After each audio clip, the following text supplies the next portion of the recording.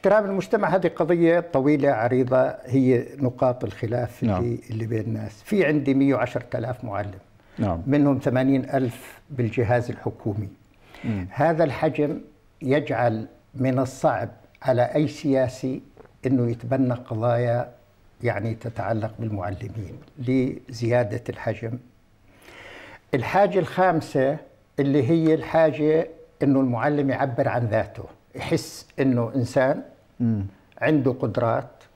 مسموح له يجرب مسموح له يخطئ. مسموح له يكون جزء من المجتمع كمان. ومسموح له يشارك في الأنشطة الاجتماعية. والأنشطة السياسية. أحسنت. يعني يعني مش بالضرورة يعني المعلم في الحاجة الخامسة يجب أن يتمتع بحقوق إثبات الذات من خلال مشاركة في الأنشطة ومن خلال آه، السماح له بالتجريب نعم. والسماح له بالوقوع في الأخطاء.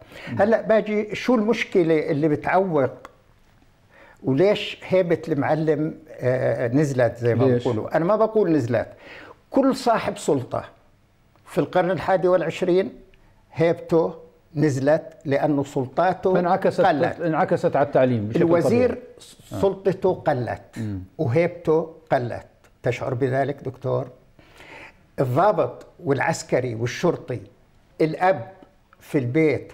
يعني كل صاحب سلطة فقط طبعا نتيجة أفكار الديمقراطية وحقوق الإنسان والحريات والكذا بطل الواحد يقدر يفرض سلطة يا قاسية دكتور لأنه كنا عايشين بمجتمع ديكتاتوري يعني أكثر منه أي شيء ثاني. وما زلنا عايشين وما زلنا عايشين لكن في تأثر بالأفكار الديمقراطية وحقوق الإنسان. أي طالب هلا بقول لك للمعلم ممنوع تضربني بعرف القانون.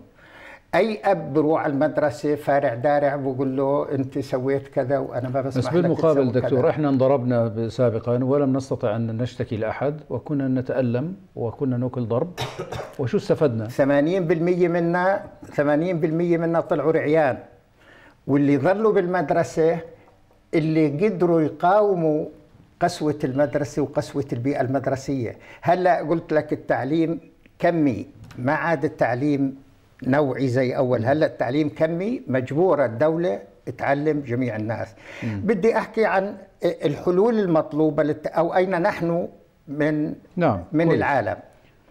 نحن نتأثر حاليا بمجتمع يفرض على الإصلاح التربوي قيودا عديدة. مم.